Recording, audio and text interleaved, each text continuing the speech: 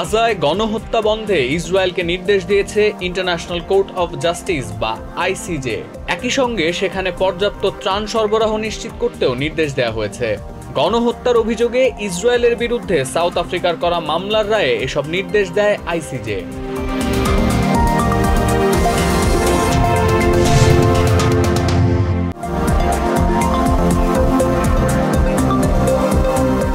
গাজায় আগ্রাসন বন্ধ না হওয়া পর্যন্ত ইসরায়েলের বিরুদ্ধে যুদ্ধ চালিয়ে যাওয়ার ঘোষণা দিয়েছেন হামাস নেতা ওসামা হামদান।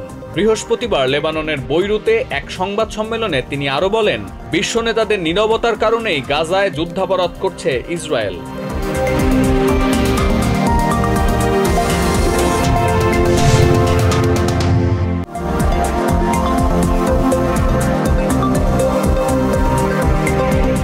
আগামী নির্বাচনে রিপাবলিকান পার্টির সম্ভাব্য প্রার্থী হিসেবে সাবেক প্রেসিডেন্ট ডোনাল্ড ট্রাম্পের নাম ঘোষণার উদ্যোগ নিয়েছে রিপাবলিকান ন্যাশনাল কমিটি আরএনসি আগামী সপ্তাহে আরএনসি লাস ভেগাসের বৈঠকে বিষয়টি নিয়ে আলোচনা হওয়ার কথা।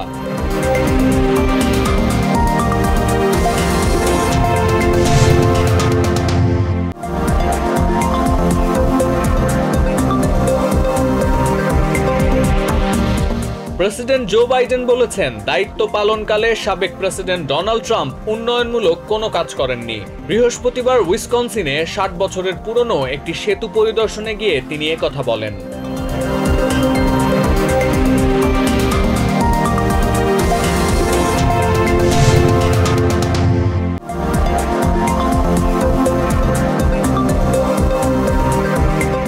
কংগ্রেস অবমাননার মামলায় ট্রাম্প প্রশাসনের উপদেষ্টা পিটার নাভারোকে চার মাসের কারাদণ্ড দিয়েছে ওয়াশিংটন ডিসির ডিস্ট্রিক্ট কোর্ট। বৃহস্পতিবার দেয়া রায়ে নাভারোকে সাড়ে নয় হাজার ডলার জরিমানাও করেছেন বিচারক অমিত মেহতা।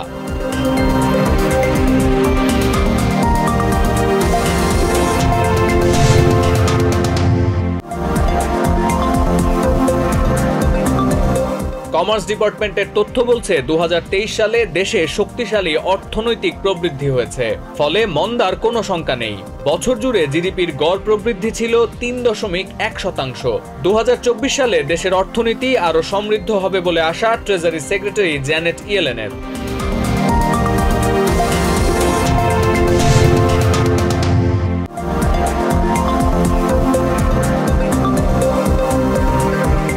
কানেটিকাটের নিউ লন্ডন শহরে ঐতিহাসিক একটি চার্চের ছাদ ও মিনার ধসে পড়েছে। বৃহস্পতিবার দুপুর দেড়টার দিকে ডাউনটাউনের ইউনিয়ন স্ট্রিট সংলগ্ন ফার্স্ট কংগ্রেশনাল চার্চে এ ঘটনা ঘটে। তবে এতে কেউ হতাহত হয়নি।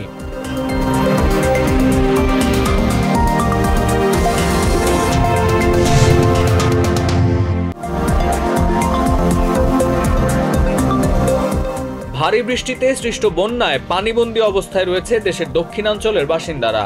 ভারী বৃষ্টির ফলে বন্যার কবলে পড়েছে লুইজিয়ানা থেকে মিসিসিপির বিস্তীর্ণ অঞ্চল।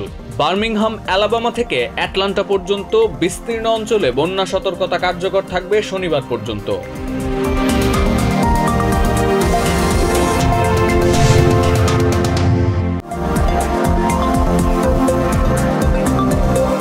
দেশের গণতন্ত্র রক্ষায় রাজপথে আন্দোলন চলবে বলে হুঁশিয়ারি দিয়েছেন বিএনপির স্থায়ী কমিটির সদস্য ডক্টর আব্দুল মঈন খান। স্থানীয় সময় শুক্রবার সকালে জাতীয় প্রেস ক্লাবের সামনে জিয়াউর রহমানের অষ্টআশিতম জন্মবার্ষিকী উপলক্ষে শীতবস্ত্র বিতরণকালে একথা বলেন তিনি।